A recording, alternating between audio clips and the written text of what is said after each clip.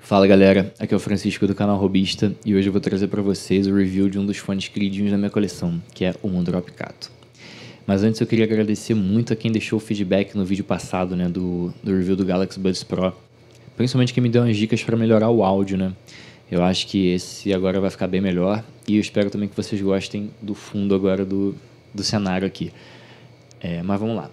Cara, para quem não conhece ainda o Cato, ele é o sucessor direto do famoso Moondrop KX-S, que foi lançado pela marca lá em 2019 e foi assim talvez o primeiro fone que colocou realmente a Moondrop num, no mapa. É, ele veio assim para o mercado, cara, como um grande custo-benefício, um fone assim que custava, se eu não me engano, 200 dólares, né, o mesmo preço do Cato, mas que conseguia brigar com gente muito mais cara. E parece que essa sempre foi assim a, a proposta da Moondrop, né? E aí depois, cara, do, do KXS ela lançou o Starfield, que custava aí 120 dólares, se eu não me engano, e depois o Aria custando 80. E assim, para quem já teve a oportunidade de ouvir os três fones, cara, eles parecem muito um com o outro. Principalmente o Aria e o Starfield, assim, cara, parece que são o mesmo fone. É, e aí meio que chegou a hora da Moondrop lançar né, o sucessor do KXS lá, já que já que ela tinha assim meio que essa sonoridade por 80 dólares. E aí veio o Cato. E aí, gente, vamos começar pelo que vem na caixa com ele. Bom, eu já fiz o unboxing dele aqui no canal. Eu vou deixar no card aqui em cima para quem, quem não viu ainda. Eu sugiro que assistam porque, cara, é um unboxing muito legal. Essa apresentação deles é, é espetacular. Ele vem nessa caixa que eu acho linda, com esse cartão aqui fora, esse envelopinho. E aqui dentro, cara, você tem essa apresentação aqui, com esse cartão aqui na frente. A anemia da Moondrop. Né?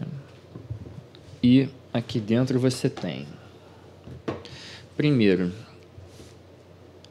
primeiro essa case que vem com ele, que é, acho que é bem padrão da Moondrop, né? É uma case bem legalzinha até.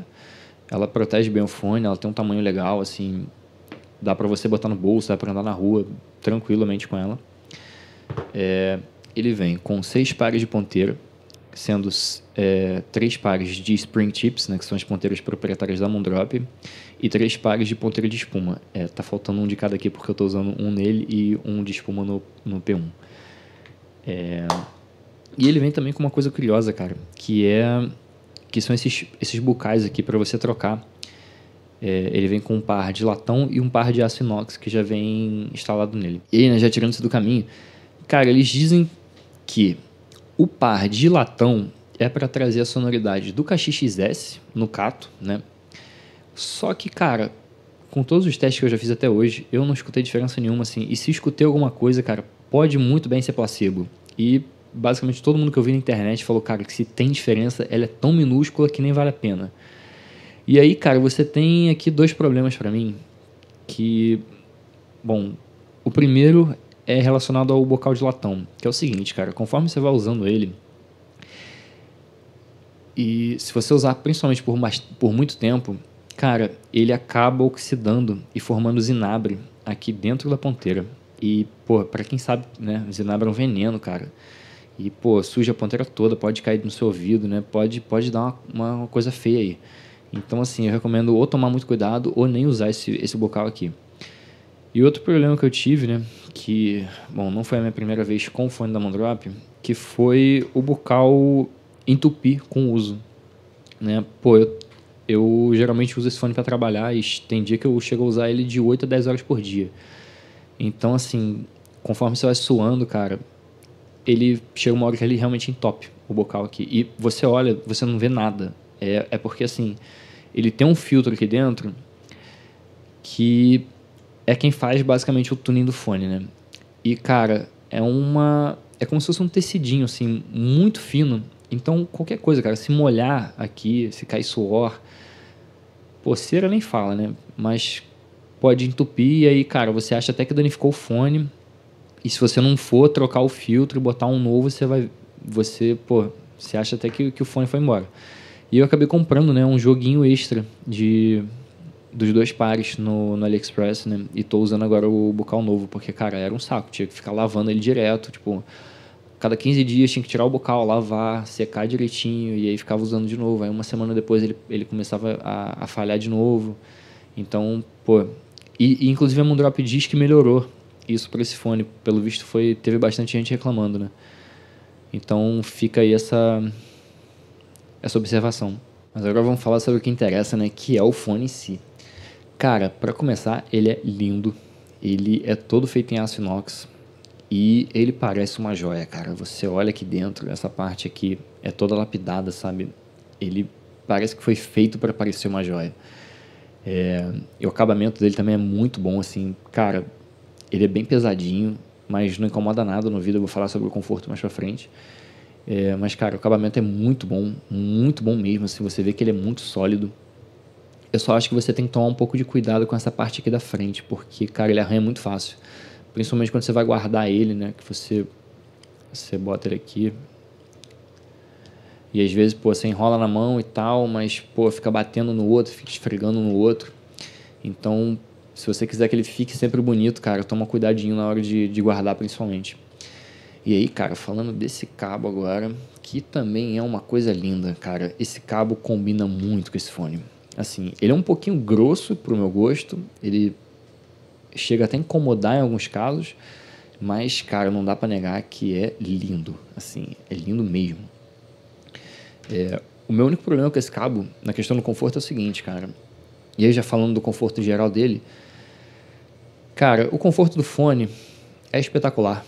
Assim, como todos os outros drops que eu já testei até hoje, você bota no ouvido, você esquece que está usando fone. É muito bom, ele desaparece. Agora, ele não é muito seguro assim como os outros Moondrops. Ele, cara, qualquer coisinha, qualquer movimento que você faz assim, ele perde o ele perde a vedação muito fácil.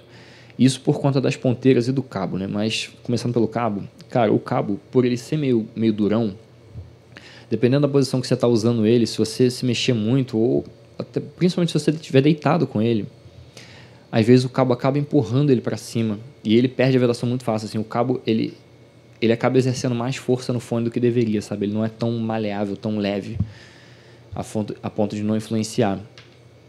E no caso da ponteira também, cara, eu acho que essa ponteira, mesmo usando a maior que vem com ele, ela ainda parece uma ponteira média para mim.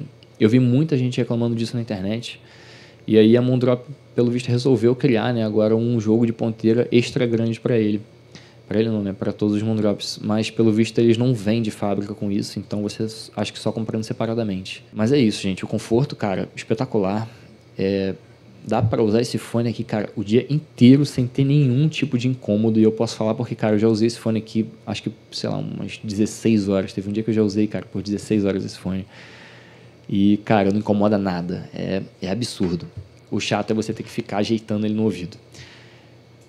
Agora vamos falar sobre o que mais importa, né? Que é o som, cara. Eu vou começar falando do som, uma coisa boa, né? Que, cara, esse aqui é um fone que não precisa de amplificação. Ele vai bem no celular direto, no computador direto, no que você ligar ele, ele vai tocar muito bem. É, eu, por exemplo, uso ele, cara, com esse adaptadorzinho aqui ó, da Fio, que é isso aqui, ó. É um ganchinho que conecta no cabinho. Tô botando o contrário, mas só para vocês verem e transforma qualquer fone num fone true wireless, né? E cara, essa combinação do Cato com isso aqui fica espetacular. E esse negocinho aqui ele tem basicamente a mesma potência de um donglezinho da Apple. São, se não me engano, 25 ou 30 miliwatts. Então, cara, isso aqui empurra o Cato com o pé nas costas. Mas agora começando pela parte que eu mais gosto desse fone, cara, que são os graves. Para mim aquele é simplesmente exemplar ele, é, ele passa assim, uma sensação muito forte de naturalidade. Não neutralidade, tá? Mas naturalidade. Ele é um fone muito natural, no geral. É, mas, cara, ele tem assim um boost muito bem feito nos subgraves. Não interfere em nada no restante das frequências. Assim, cara, é os graves deles são muito bons. Assim, são aqueles graves, cara, que eles só vão aparecer mesmo quando a música pedir, assim, quando você estiver escutando uma música que tenha muita presença, que tenha muita atividade nessa região, sabe? E assim, cara, são graves com uma, uma velocidade muito boa, uma textura muito boa, uma definição excelente, principalmente para um fone desse tipo e desse preço, né? É, e assim, cara, ele traz uma sensação muito legal que é é tipo, é tipo um preenchimento, sabe? Quando você tá escutando uma música que, que tem bastante atividade nessa região, cara, parece assim que os graves eles estão vindo de fora, sabe? Eles estão assim. eles são assim o chão da música, sabe? Isso é, é muito legal nesse fone. E mesmo assim, cara, ele consegue se manter um fone muito natural. E, cara, falando nisso, ele além de conseguir fazer com que os graves pareçam assim que, que são o chão da música, tem casos onde ele, ele vai além disso. E ele, cara, ele consegue posicionar seus assim, graves com uma precisão muito legal que dificilmente eu já escutei num fone, principalmente desse preço, sabe? Cara, quando você escuta a música Wake Up do Rage Against the Machine, quando você chega no finalzinho, assim, faltando mais ou menos um minuto para ela acabar, que entra o, o solo de baixo, cara, é espetacular nesse fone. Parece que o baixista tá aqui na sua frente tocando, cara, com uma. Sabe, ele, ele, ele te dá aquele sacode, mas com uma fisicalidade, sabe? Você parece que, que o negócio tá aqui. É, é sensacional. Essa música, em, é, essa música em particular é sensacional nesse fone. E agora entrando nos médios, cara, os médios dele, no geral, eu gosto muito, mas ele tem alguns pontos em que em que eu acho que ele passa um pouquinho do meu gosto, sabe? Mas vamos começar pela parte boa, que é primeiro o timbre. Cara, o timbre dos médios desse fone são muito naturais, seguindo os graves assim, cara. Naturalidade é a palavra que eu escolho para definir os médios dele. Eles não são médios nem quentes nem frios, eles estão assim. Teve um termo, cara, que o antenor do canal Música Café usou essa semana que eu achei muito legal e eu acho que define muito bem esse fone, assim. São médios que estão em temperatura ambiente, cara.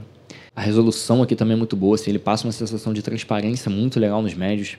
Agora, onde eu acho que ele pode passar do ponto um pouco é na região da presença, né? Que é lá no, que são os médios mais, mais altos.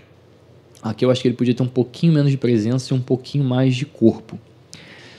É, principalmente quando você escuta rock, cara, ou músicas que têm assim maior atividade nessa região, que trazem assim vozes e guitarras mais para frente um pouco. Tem gravações onde ele pode passar do ponto, onde ele pode dar uma espetada, sabe? Tipo, as vozes se tornam um pouco gritantes, as guitarras dão a... chega a dar uma ardida, sabe? Mas eu acho que vale falar, cara, que nem sempre isso é culpa do fone.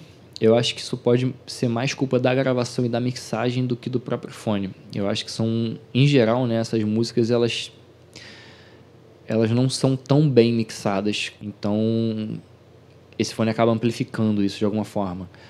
É, principalmente, cara, quando você escuta é, Alter Bridge, Foo Fighters, bandas assim que, que botam mais presença assim nesses médios mais altos, ele acaba passando um pouquinho do ponto. Assim, nada contra essas bandas, nada contra esse tipo de música, pô, eu adoro demais, só que nem sempre fica legal nesse fone. É um caso assim um pouco específico, né? Mas eu só acho que muito em parte por essa característica dele, né, de ter esses médios mais levantados, ele acaba ele acaba se tornando um fone muito muito refinado, sabe? Ele tem uma sensação de refinamento muito forte e de transparência também muito legal, principalmente para um fone desse preço. E aí, né, já entrando nos agudos, cara. Os agudos desse fone, no geral, também são muito bons. Para mim, eles seguem essa mesma pegada dos, do, dos graves, né, que é, e dos médios, que é, de novo, serem naturais. É, só que assim, não são agudos que me chamam atenção, eles não me impressionam, sabe?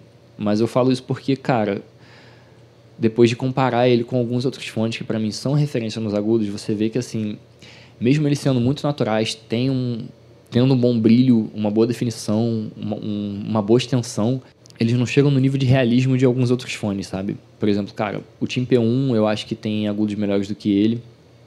Ele tem assim uma coloraçãozinha ali, o P1, né? Ele, eles são um pouco doces, mas eu acho que eles são agudos melhores, principalmente em questão de resolução.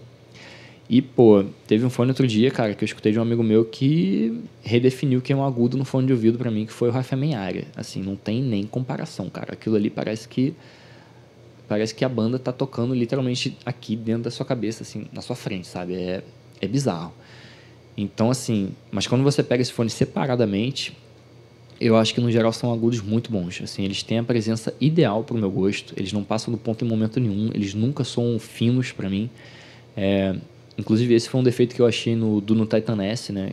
Que tá assim, bem abaixo dele no preço, mas cara, é um fone que tem um tuning parecido, só que eu achei ele um pouco magro demais, principalmente nos agudos e nos médios, assim. Eu acho que ele ele podia ser um pouco mais cheio. O Cato já é mais cheio, já tem um timbre um pouco mais correto nessa região para mim. E aí já entrando um pouco nas comparações que eu fiz com esse fone, né? Eu pude comparar ele diretamente com o diria que é o avô dele, né? Que é o Mondrop Variations, que está aí na casa dos 550 dólares hoje. Uns dois graus acima dele. E, cara, é uma comparação muito interessante aqui, porque eles são, tonalmente, eles são muito parecidos.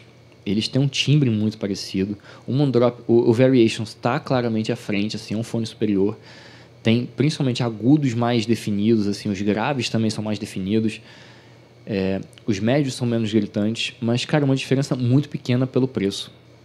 Eu acho que, assim, eu não pagaria. Eu acho que, para mim, não vale a pena o upgrade. E outra comparação que eu pude fazer com ele diretamente foi com o Let's Shure S12 Pro.